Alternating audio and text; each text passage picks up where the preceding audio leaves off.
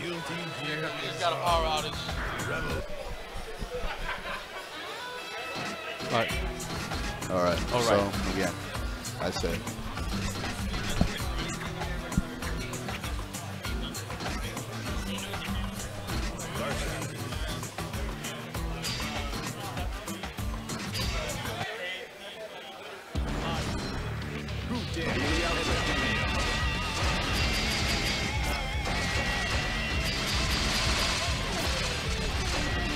Right, so right back into this.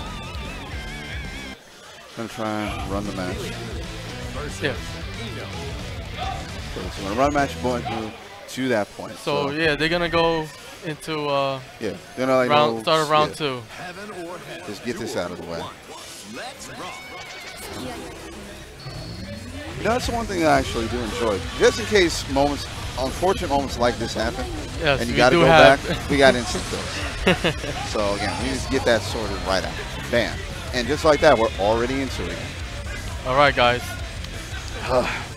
Sorry about all this. Um, the power went out Yeah. really quickly. And here we go. Right back into it. Again, Lord Knight opening up.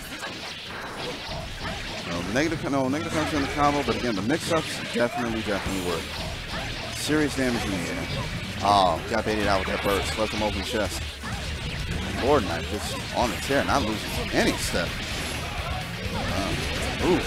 And, and again, like I said, no, you have to wonder, would this have happened in the first, second round?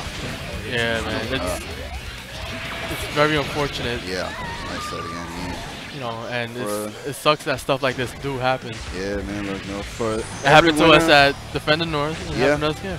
I said, no, for every winner, there must unfortunately be a loser. And I said, shout out to Coleman because, again, he did fairly well. He woke up Yeah. in that second match.